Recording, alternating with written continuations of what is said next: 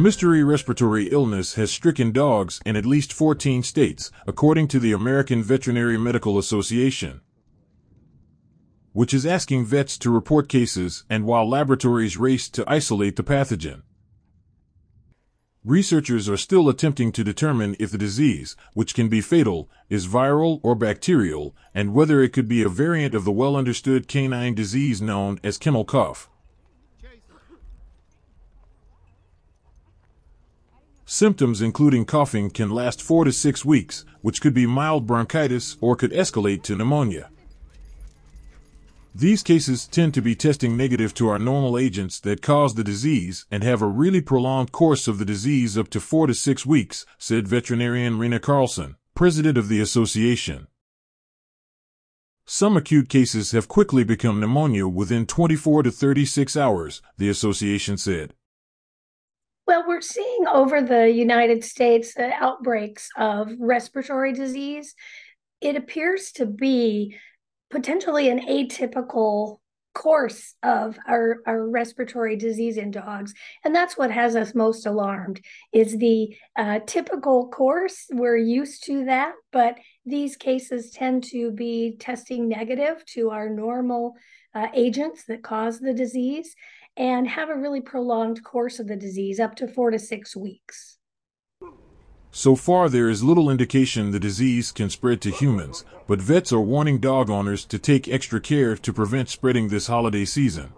When pets travel with families or are placed in kennels when their owners go away, Though cases have been reported for months, the Associated has stepped up its public advisories recently for the holiday season.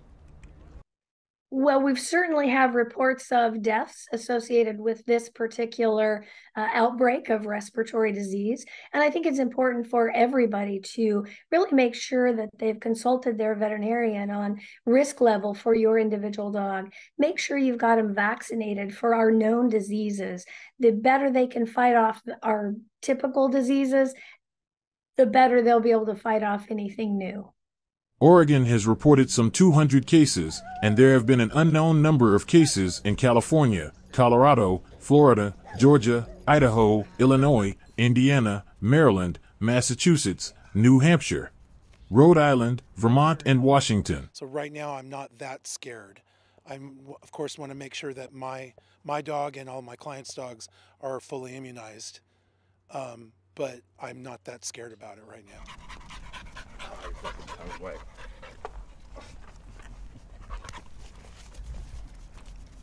Like, I mean, keeping him up to date on his shots and stuff like that, keeping him healthy. I mean, regular walks, but then again, at the same time, around trusted areas that you think that, I mean, it'd probably make more sense to keep your dog safe or let alone anybody safe for that matter. But yeah, like, because transmission's kind of serious if you really think about it. The Oregon Department of Agriculture is working with state and national diagnostic laboratories to identify the causative pathogen. The Colorado State University College of Veterinary Medicine and Biological Sciences has linked the disease to cases of severe pneumonia and some deaths, the association said in its latest advisory.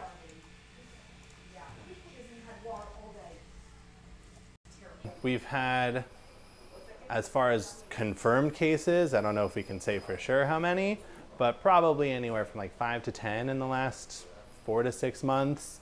Um, it's been around for about a year from what we can tell. We don't know exactly what it is, where it's coming from.